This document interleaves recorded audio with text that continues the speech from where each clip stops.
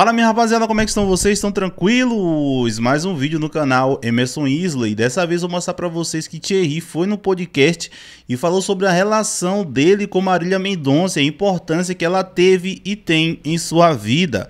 Mas antes de meu assunto, eu gostaria de pedir para você que está chegando aqui agora, primeiramente, seja bem-vindo ao nosso vídeo de canal. Não se esqueça de se inscrever aqui embaixo, ativar o sininho de notificações e, é claro, deixar o seu like para você ser lembrado toda vez que eu postar conteúdos novos aqui. Lembrando a todos que este é um canal de entretenimento, onde eu trago notícias, polêmicas, histórias, curiosidades e muito mais. Pois é, rapaziada, recentemente Thierry foi lá no Podpah, que eu vou deixar o link aqui na descrição para vocês ir lá e conferir o episódio completo. Ele acabou falando sobre sua sua relação com Marília Mendonça, mas precisamente sobre a importância que ela tem em sua vida. E uma das coisas que ele falou foi que, como Marília Mendonça, ela começou sua carreira nesse meio artístico sendo compositora para posteriormente ela virar cantora, Thierry seguiu os mesmos passos. Como vocês sabem, ele é um dos maiores compositores do Brasil, porém, só depois dele começar a compor que ele começou aí fazer sucesso é, com suas próprias interpretações.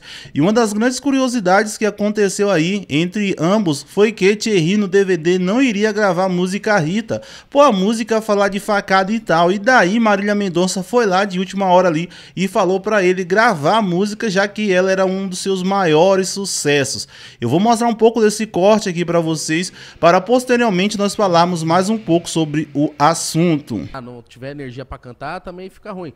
Mas, mano, compor é foda, mano. Todos os shows meus, eu, eu falo que eu, eu, eu, dedico os meus shows todos à Marília, né? Porque a Marília é a minha grande referência. Porque a Marília é uma compositora que virou cantora. Mas, mano, ela uhum. compunha desde criança, Desde, desde criança, criança, né? Então, assim, é é, é, o sonho de todo compositor é os palcos, né? E a Marília ela mostrava que, que, que, se você com determinação, com foco, você conseguia fazer isso também. Então você já conhecia ela de né? muito tempo? Há muito tempo. A Marília, a gente meio que era botando música de um lado, a gente era meio que concorrente, né, de compositor, ah, né? que da hora. Que da hora. É, a gente já sabia já que a Marília ia ser esse grande fenômeno, porque as guias dela, as guias são as músicas antes de estarem de, de serem gravadas, né? Sim. Né?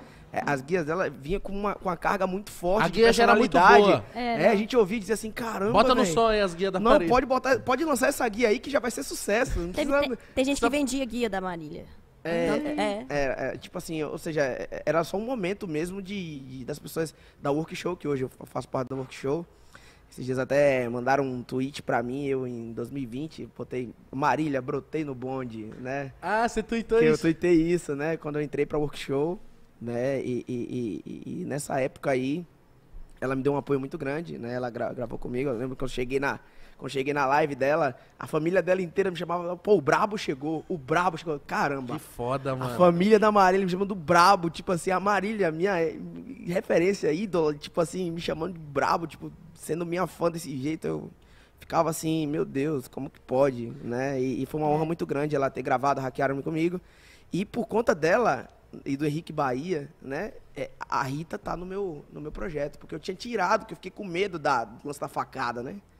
Fiquei Entendi. com muito medo da facada, né? Da, do, das pessoas interpretarem de uma forma negativa né? Mas aí eles falaram, me deram um toque. Você pensou em tirar? Pense, tava fora do, do, do set list. Tava com medo da facada, né? Repercutir alguma coisa? É, é mas eu entendo. Negativa, é, né? pode É porque é uma coisa né? pesada e né, aí, falar. E mas, mas totalmente ao contrário, né, mano? É. Eu acho que a, o pessoal tem que entender que, mano, é arte, mano. Você vai ver facada é no filme. Mano. É música. É. E aí a Marília chegou e falou, cara, como é que você vai tirar sua música, o seu sucesso do DVD?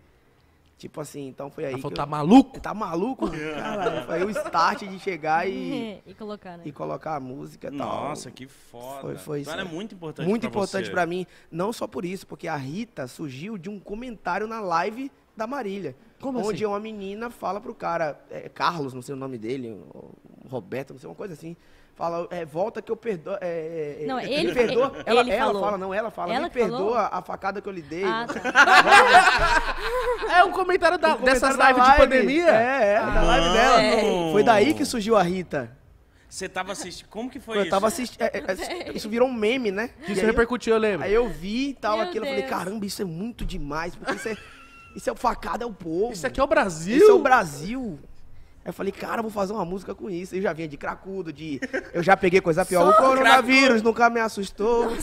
Eu transformei as em coisa boa. HB20. Mas cracudo, cara. Pois é, rapaziada, como vocês viram aí, Thierry rasgando elogios a Marília Mendonça, já que ela foi uma das pessoas mais importantes aí na sua carreira. Como vocês sabem, no DVD eles gravaram a música Hackearam-me Juntos, que foi uma das músicas mais lindas, cara. Aquela música é top demais. Mas e aí, rapaziada, o que é que vocês acharam dessa fala de Thierry? Deixa aqui embaixo nos comentários, pois o seu comentário ele é muito importante. Marília Mendonça é um daquela, aqueles tipo de cantora que nós nunca vamos esquecer, velho, porque cada esquina que você passa, você vê uma música dela, pô, a mulher canta, cantava pra caramba e, pô, só saudades. Mas enfim, rapaziada, esse foi o vídeo de hoje. Muito obrigado por nos assistir até aqui. Eu espero vocês no próximo. Um abraço e até qualquer momento.